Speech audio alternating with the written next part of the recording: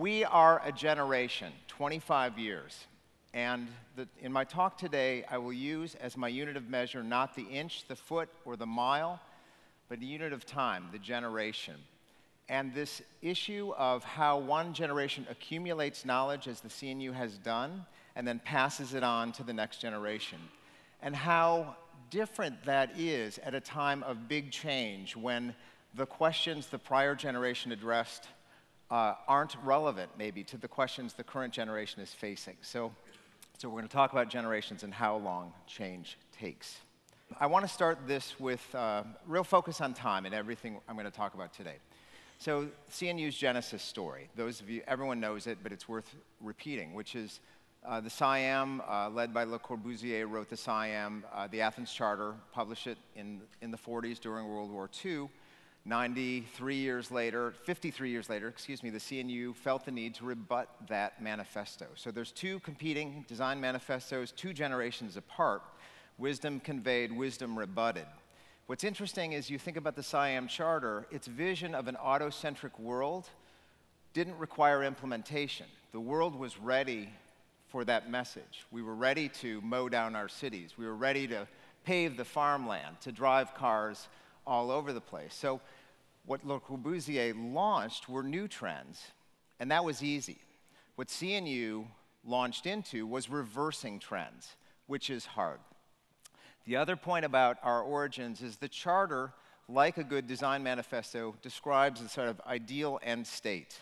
But because it was written by architects, there was no plan for implementation. It didn't include guidance on how to actually get to this kind of promised land, this place we want to be, and so on. And I think that's really what I want to focus on today. So, the charter, it's a re revered document. Uh, if you haven't slept with it under your pillow for a couple of years, try it out. It's pretty, pretty good.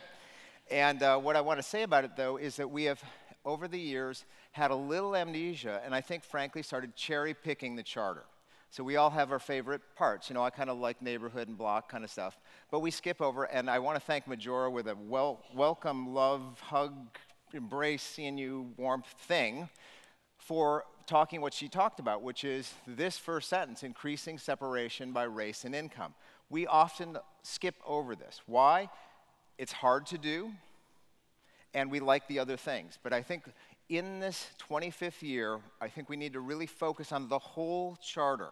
And I know it's ambitious, and we've, we have so much to thank to our founders and those of us working thus far, but I think this is looking forward. We need to re, recalibrate and define what it is we're going to be after.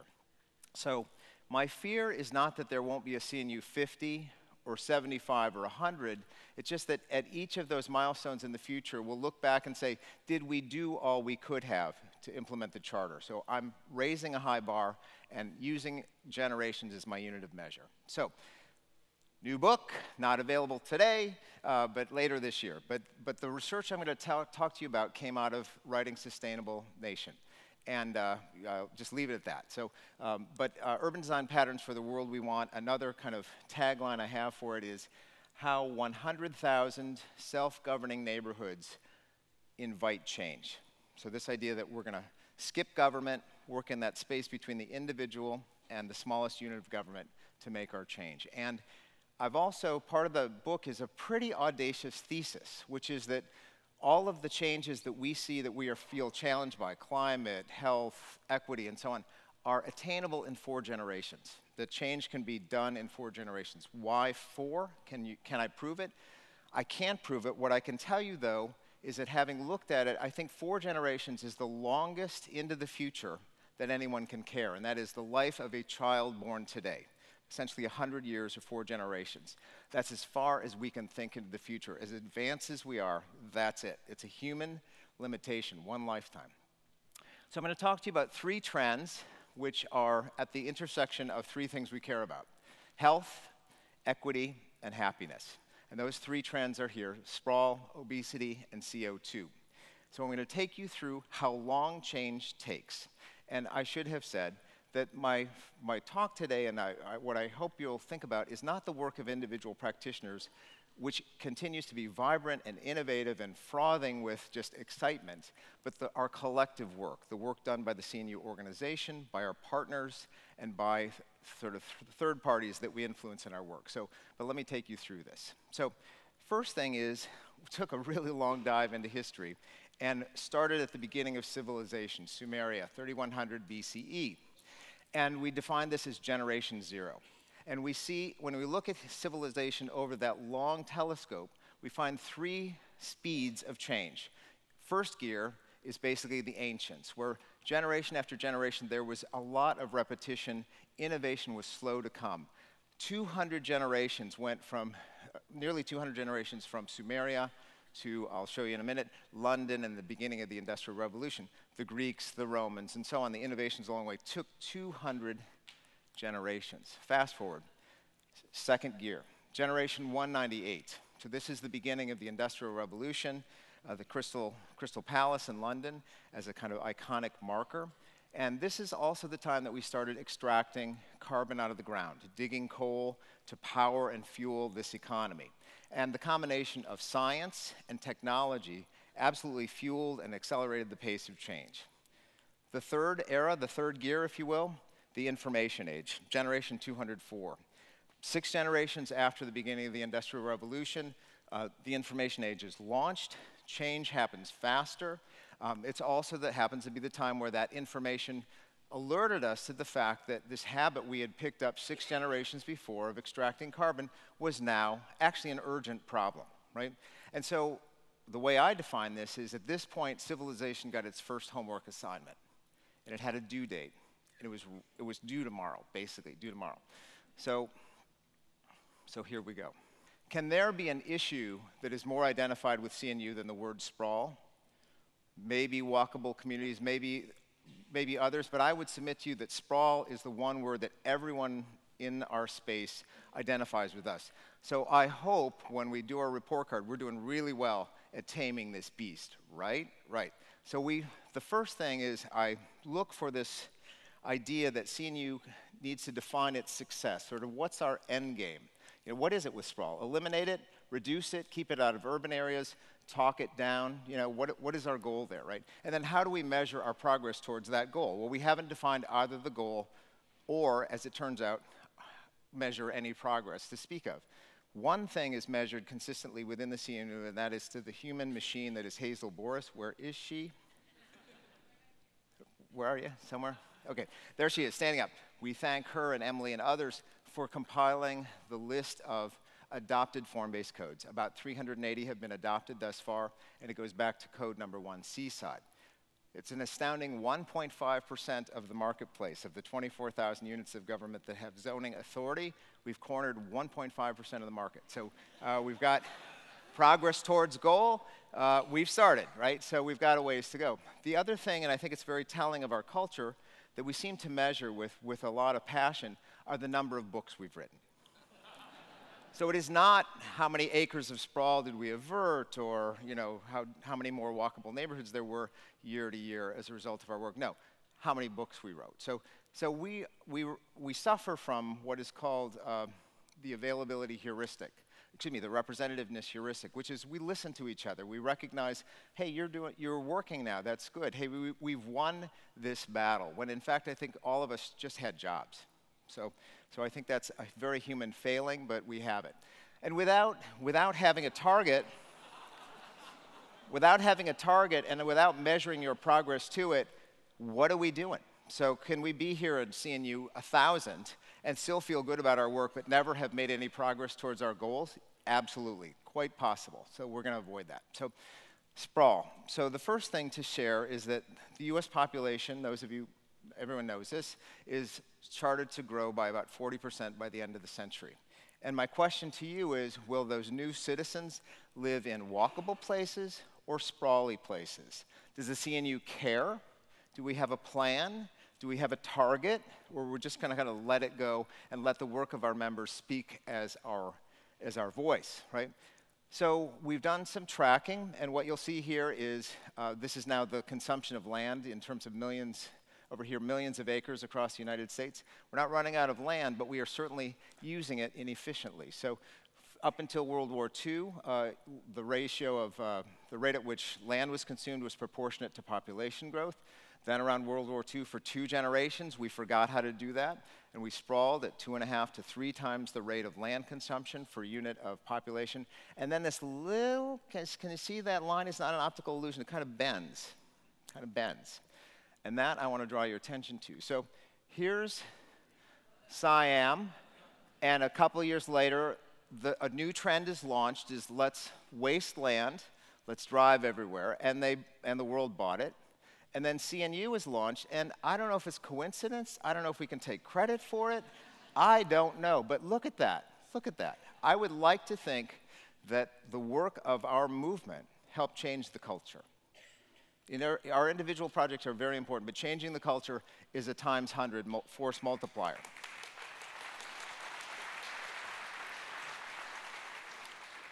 So already, regardless of the cause of that inflection, whoever can claim credit for it already can claim that much land consumption averted. And what does that mean? What is that total? Just so happens that little kind of sliver of land is larger in size than Joe Biden's home state of Delaware. So we have prevented the paving and development of a place the size of Delaware. So uh, not a small achievement. Small state, but not a small achievement. So so what we've done in the book is to then project forward, always, you know, in 100-year bites, 100-year uh, plus, um, the scenarios that might go forward in terms of our patterns of sprawl, our patterns of land consumption. And we, we always have a high, hyper, hypo, and then our preferred, the sustainable nation. And the sustainable nation ideal, which I think should be the CNU's ideal, is that we don't need more land to accommodate that new population. In fact, we need to repopulate neighborhoods to make them more vibrant, to make them more walkable, to make them support more amenities and services that a walk to distance. So, so we have choices here. Uh, what, what is our issue? So, a few things we learned putting this together. One is sprawl remains, 25 years into CNU, sprawl remains the dominant pattern of growth in America. Number two, we learned from Ellen Dunham-Jones that not the commercial suburban stuff, but the residential suburban retrofit is a unicorn. It does not exist. Less than five, let's call them cul-de-sac projects in, in Ellen's database have actually been reversals of cul-de-sacs. So they continue to be created out in the world, and they are all but impossible to reverse. They're uh, very much like a Superfund site, a contaminated site that you cannot fix so why do we let them be made anew? So I think we've got some received wisdom from, the, from our first generation to say we don't know how to stop sprawl, we can just put it in the right place. And I think for our second generation, we need to come back and revisit that, that framing, because I think that's actually not accurate and we have too much at stake. If we don't do the Sustainable Nation um, scenario, I think that at CNU 50, and everyone should be here, Dan Solomon included. Where are you, brother? You, he's the healthiest guy I know. He'll be outlive me by a lot. Um, but when we're here for CNU 2050, if we don't stop sprawl, it will be the truth to say more sprawl was created after CNU was founded than before. And would we all agree that that's, that's definitely a failure? So we can't let that happen. So obesity is number two. First of all, obesity is a global epidemic. The United States happens to be the world leader in it uh, but we're not unique. You can see all the stats. The other thing to notice is that no country has peaked in obesity yet. So, uh, like, like trends that we're going to talk about, some peak and go down. This one has yet to peak. So, and then the other thing is unique to the United States is the amount we spend on health care, a, se a segment of which is related to obesity. So we spend, on average, 8, 8% gross domestic product more than the nearest, next nearest country. So we're not getting our values worth. I think we all know this. Um, and then, and it functions in some ways as a kind of big sort of dripping pan for all the problems in the country end up in healthcare.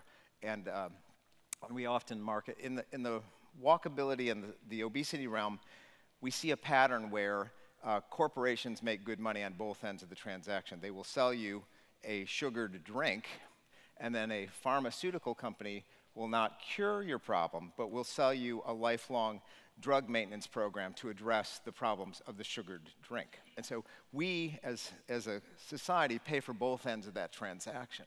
So how do you break the cycle? So, um, and the other thing to say is 21%, according to one estimate, 21% of all healthcare expenditures are related to obesity.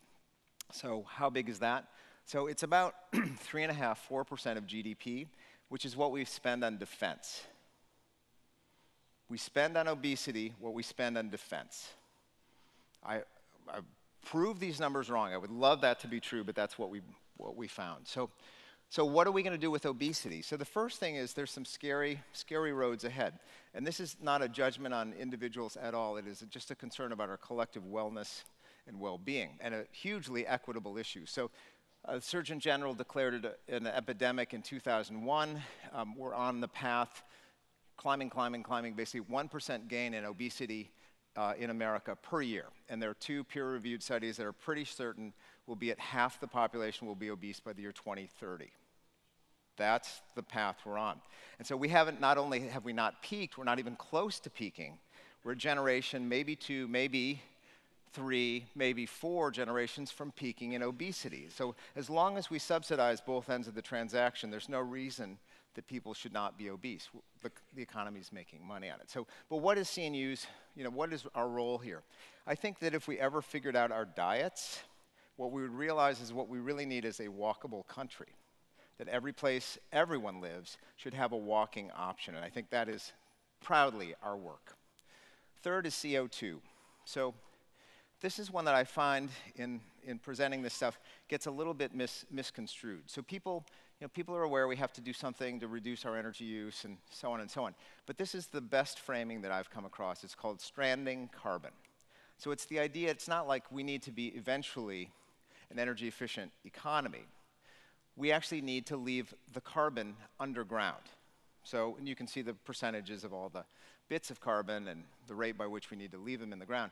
Um, the map, map below that are the trading exchanges around the world that represent the kind of the value, the asset value of those companies that own those underlying, yet to be extracted carbon resources. And so, you know, who are we stacked up against in this premise is, you know, huge markets in London, New York, Hong Kong, Singapore, and so on, that trade it and value it very highly. So in order for this to succeed, all those pies have to be written off as unprofitable. So there's a big financial incentive, again, pulling us to pull all that carbon out of the ground uh, rather than leave it there. So uh, goal, strand the carbon. So, so here we go, there. So I'm focused on the US and what we can do here. This is obviously a, a global problem, so I'm, I'm not tricking myself, but I really want to focus on our country and what we can do. So, um, US CO2 output peaked in 2005. A few factors that may have influenced that. Uh, you know, uh, exporting our industrial output to China, we had an economic downturn, but also there are true efficiencies being added in the economy that account for this trend being a permanent reversal, and it's not, no one expects it to actually suddenly go up uh, even with the current president and the current regime. Here are the six generations I talked about that we've sort of uh, developed a, a habit, a, an addiction, whatever you want to say, to carbon, starting in the Industrial Revolution. Generations 199 to 204 takes us to today. And then the question is, how fast can we reverse this trend? Is anybody interested in knowing? Pretty important question, right? So, so we asked it a couple of ways. What is possible and what might be likely? Because I don't think we know enough to predict for sure. So what is desired is what Ed Mazria told this Congress down in Dallas, which is by 2030 we need to be well on our way to decarbonizing our society, our buildings, our cars, uh, you know, our airplane travel and so on. So that was an 80% reduction by 2030. And it, it's a change line that looks like that and then drops off incredibly. Is this possible? Um, first of all, to say it's 13 years away.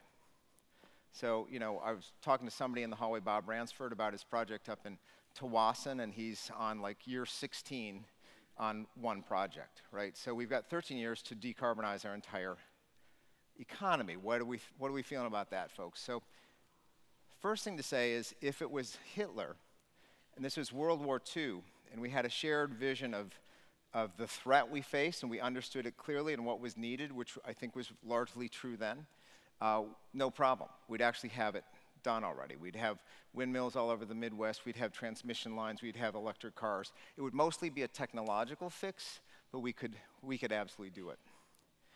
So then, what is likely? So to get to what is likely, we, we did what's called a heuristic. You can't answer that question, you answer a different question that you think is relevant or similar. So we looked at smoking rates in the United States. So in 1900, uh, cigarette smoking, by the way, smoking cigarette rolling machine was just invented. So cigarette smoking was invented in 1900, uh, became a thing. One percent of Americans peaked in 63, uh, and then is on its way down. Surgeon General's report played a role in all of that, um, and we projection, who knows, you know, 2040, 2050, it might be kind of a thing of the past. So but you know, when you count the generations there, it's two and a half in and basically three or three and a half getting out. So a little slower to resolve than to create the problem. So then we ask this question. This is kind of the, the heuristic. If we could uh, decarbonize our economy at the same rate that we got re reverse the trend of smoking in the United States, what does that look like? So what we've done, this is just a graphic comparison. So we matched the start, start line and the peak line and then filled in kind of what it would look like. And it looks something like this. So we would be sort of a decarbonized economy around the year 2150. How's that sound? Sounds about 100 years too late. So, so I can't tell you which generation, how many generations in the future, six, eight, ten, that Florida will be a pond uh, East Texas will be a pond. Those are fairly likely scenarios in the failure to leave the carbon underground. So, so I think the debate that I hear within the CNU to say, let's skip mitigation, because everyone's doing it, and move on to adaptation because we own adaptation is, I understand, a strategy, but misguided.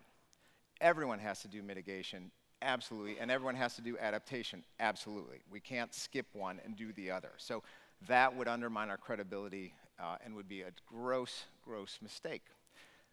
So I show you this.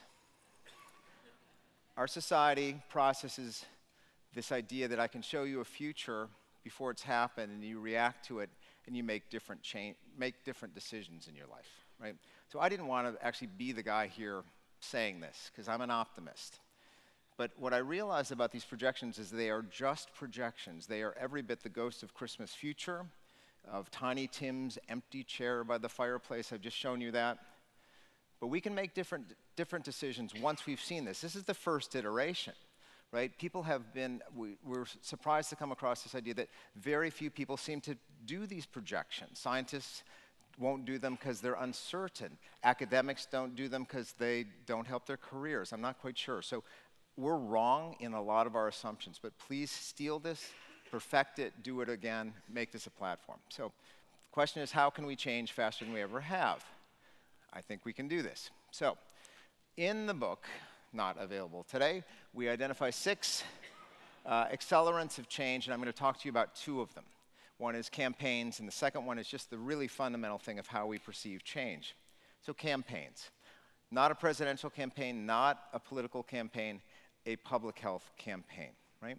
So there's a couple that those of us who are certainly architects and anybody in society appreciates that building codes serve a purpose. And the one thing that they've been really good at over the years is figuring out how to, how to require buildings to be designed so they don't collapse. And barring earthquakes and terrorist attacks, this is a problem of the past. So buildings don't collapse anymore. Fire um, you know, these are both sort of concerns from time immemorial, and certainly 19th century is when you first see them showing up in the codes. But fire is also a trend that is well on its way to resolution. I don't include the slide today, but in a couple generations, it is quite possible that fire deaths in the United States will be thought of as virtually gone, non existent, a thing of the past. So the fire marshals of today, who wield great authority, are actually going to have a weaker and weaker hand in the future.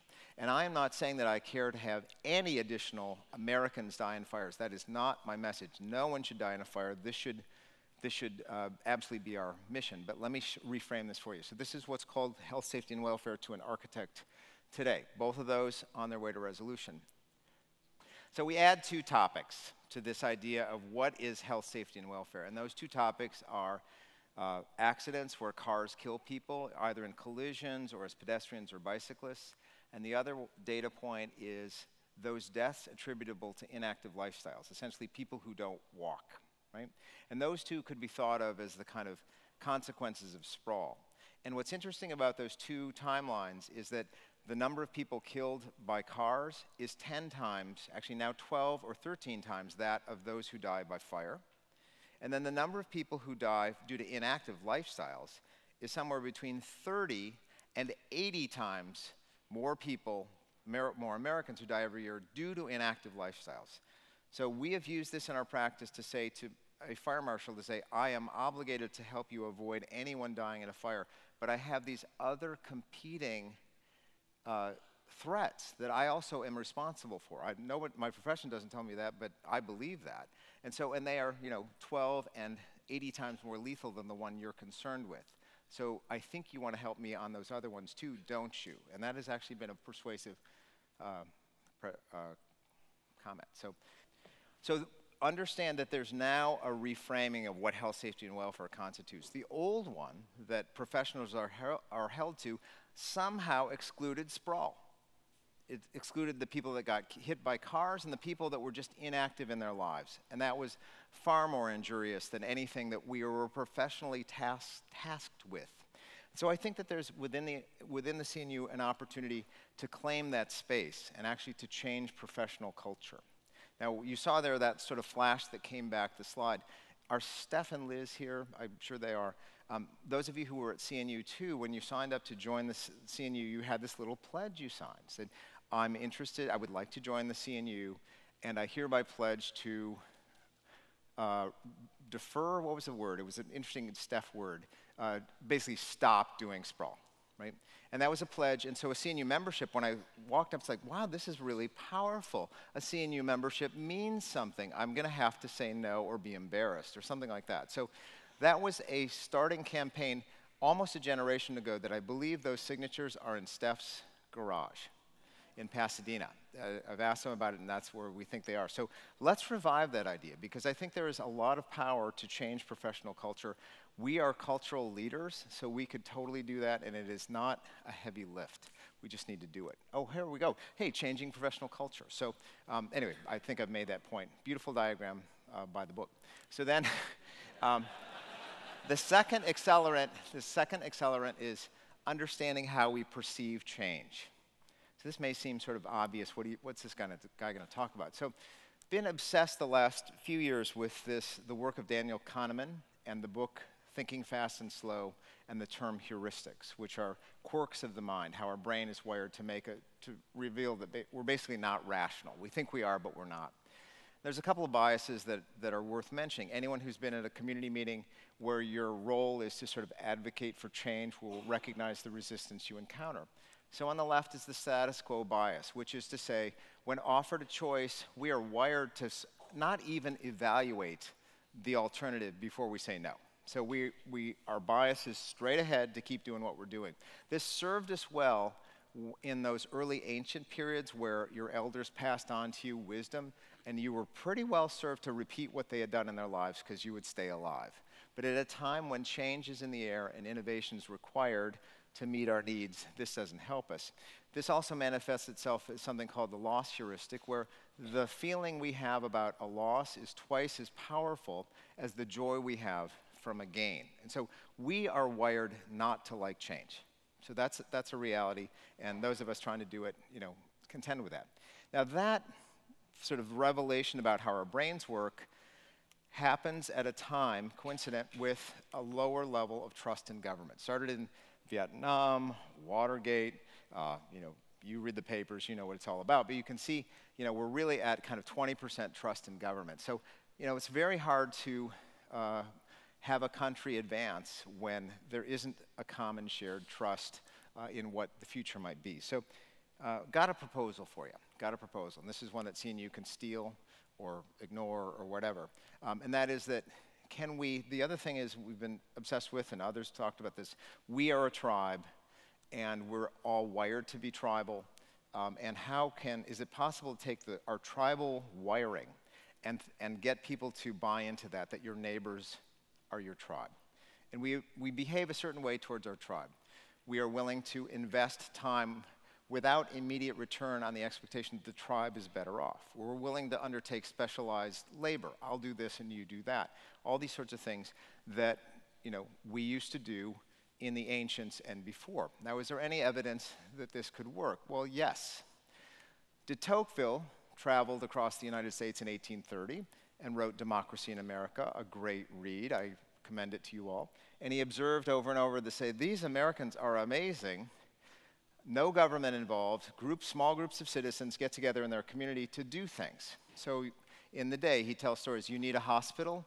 What do Americans do? They form a committee to build a hospital. Not government, not the individual, committee. You need a bridge across the river, committee to build the bridge across the river. This is our DNA. This is what built our country was neighbors coming together to advance and improve their community. So we want to tap into something that's worked here for nearly 200 years. This old quote really came to mind, which is, uh, and the six founders of the CNU are the embodiment of this. Small groups of people uh, are the most powerful things. So what do we need? So here's, here's my vision, that we're a country of 100,000 self-governing neighborhoods. So you can't legally self-govern because we have this one person, one vote thing. So in terms of electoral stuff, it's a redefinition of government below the level of official, you know, chartered, elected government. It is a different structure. So we're, we in the CNU are not afraid of inventing new tools and new structures. This is the one I think we need a lot, self-governing neighborhoods. And the guess at 100,000, who knows? Who knows how many there are? We haven't bothered to map. So, but what I can tell you is this could be a platform uh, below the level of government, above the level of individual, that supports our work and we can all do at home. And I think it could be viral. We'll see. We'll see. Um, it's also worth mentioning, and this is stats I learned in Emily's great book, Neighborhood, uh, not out yet, um, and from, from uh, WalkScore, 80, 86% of neighborhoods are car dependent. So if you lived in a neighborhood that was defined as car dependent, would you like to work to improve it to get out of that ditch, right? I think some would. So if we define it that way, I think we'll get some takers. So this is now about the book. Many of you got little kind of postcards or wimpy postcards. Um, patterns of change to improve neighborhoods. We've got nine chapters in descending order of where, where we think those conversations start in the neighborhoods. And the first one's collective effervescence. I want to talk about that in a minute. There are 70, this was not possible without a lot of collaboration. Many people, show of hands from people in the audience who are contributors to Sustainable Nation. There should be a few people here, leaders, you know them all. Great, great, thank you, thank you. So, um, but these, this is very much like a pattern language, except it's future, future oriented rather than mining the past. So, and I think they're framed rather beautifully, and I'm really proud of the people that agreed to collaborate with us. So the first, just to share a sample pattern, this is from Emily's book. Um, people need an everyday neighborhood to belong to.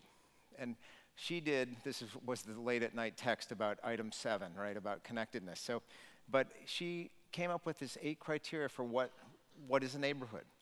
Now, if anybody's on the pro-urb, we New Urbanists love to fight about our neighborhood diagrams. Yours is unworthy. Yours is a, the antithesis of what we need to do. You're an idiot. Name calling, flaming, this whole thing. A waste of time, utter waste of time. It won't, you cannot build a platform for social change with technological divisiveness like that, or kind of a institutional divisiveness like that.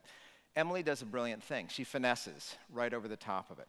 What, is, what do you have to do to be an everyday neighborhood? Not a litmus test about Perry, Clarence Perry, or not. It's do you have a name? Do people know that they belong to this neighborhood? So it is not necessarily even physical boundaries, it's perception, right? Because that's what people live. To Majora, I love Majora's presentations because it was so everyday, so of the people. And so brilliant move is to um, do the kind of ask people what they, wh whether they believe they belong or not extent matters, but this issue of like, do we have edges or hard edges or whatever, again, finessed. And then to me, the key one, number eight, does this have a unit of representation for the neighborhood, i.e., self governing? Two other patterns.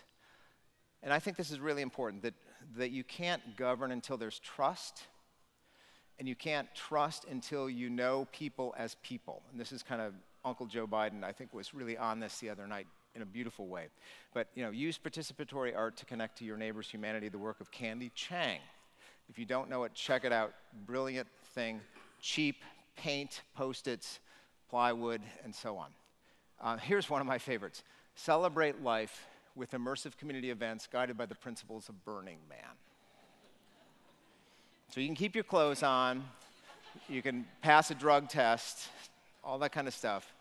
But what Burning Man does, and I did some focused research on this topic, um, was one of the 10 principles is seek out strangers. Seek out the person who's different from you.